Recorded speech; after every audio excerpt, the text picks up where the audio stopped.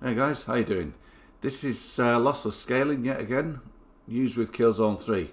Now this is a random game I've tried, but this is one game that I really love. So to get it to run how, just how I want it, I'm having to fine tune RPCS3, I'm having to fine tune um, Lossless Scaling, but in order to, as you can see there, 20 FPS. Let's minimise that. Have a look at this.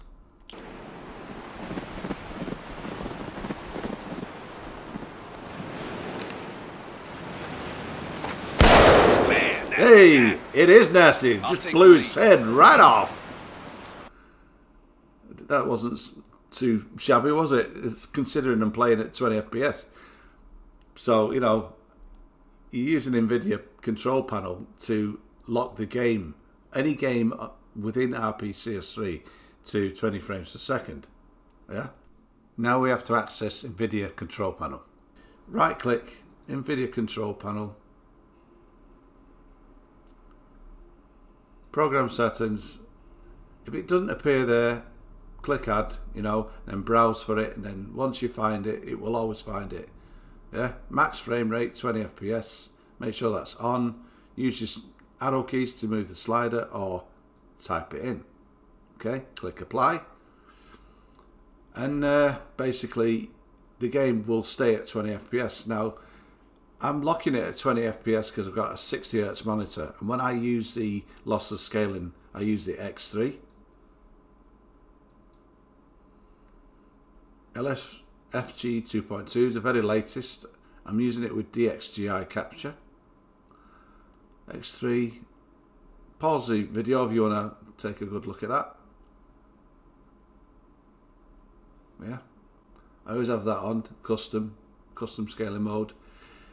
Scaling type doesn't need to scale because I mean it's at a native 4K anyway. 3840 by 2160 to be exact. Uh, all right, so let's um, let's scale this bad boy.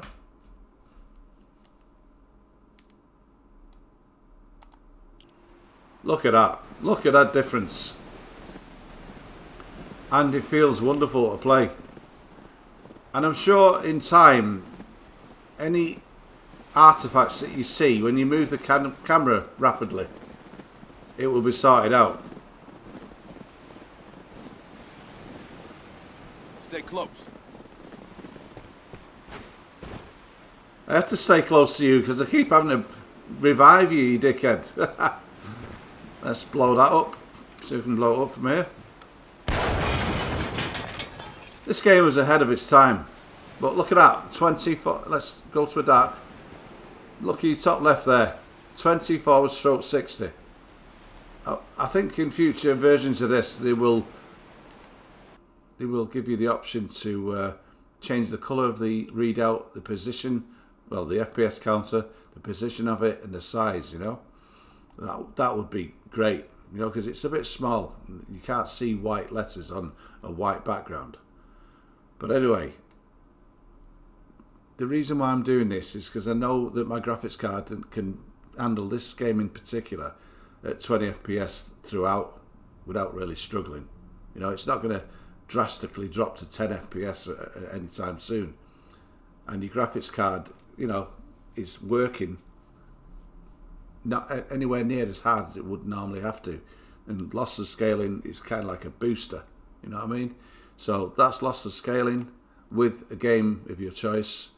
Um, fine tuning. Basically, it's this about fine tuning your game and then using lossless scaling to get the very best out of whatever game you're playing.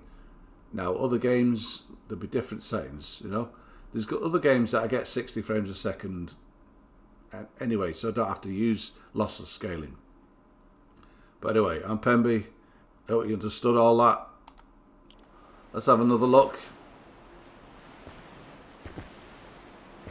Now I am doing a campaign. If I press C on my keyboard, we get the cel shaded look. I've done a full campaign featuring this look and uh, I'm looking forward to bringing it to you with you know smooth gameplay like this Stick together.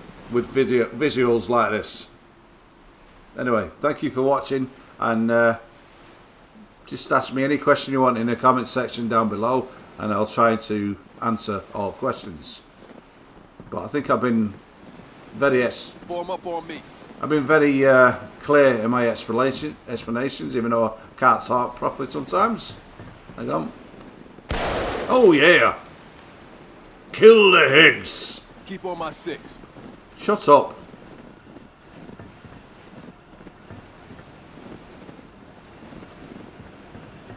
Let's go and blow some heads off. K-man, bring up the rear.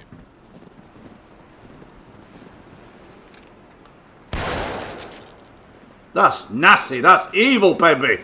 That's evil. It's only a video game.